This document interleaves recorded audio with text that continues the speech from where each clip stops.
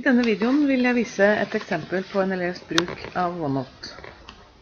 Jeg får opp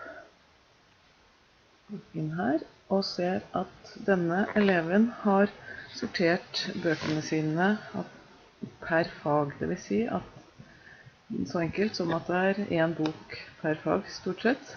Jeg vet også at det er mange elever som velger å ha kun en bok per år, og så har man fagene som inndelinger.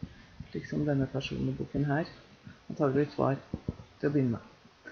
Men eh, bare for å titte litt inn i fagene, så ser man et fag som teknologi- og forskningslære, hvor prosjekt, de har et prosjekt som er brobygging. Der ligger antageligvis eh, selve oppgavebeskrivelsen som en fil. Eh, en liten skisse tegnet her.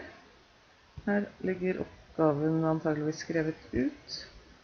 Så har man skullet starte med en rapport, og så har man her tatt inn noen bilder av den ferdige broen.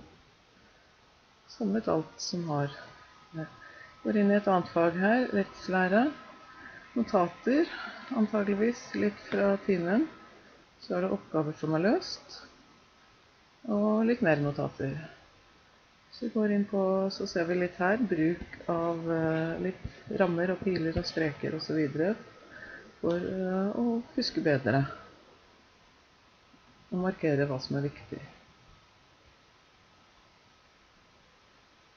Veldig lurt å bruke tabeller for å få oversikten. De opprettes jo kjapt og enkelt i OneNote. Jeg tror dette holder egentlig. Jeg får et bilde her av uh, fysikk. Her er visst en uh, figur.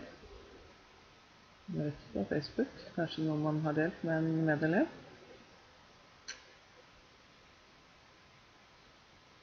Og her er det litt skjemaer for uh, analyse av eventyr osv.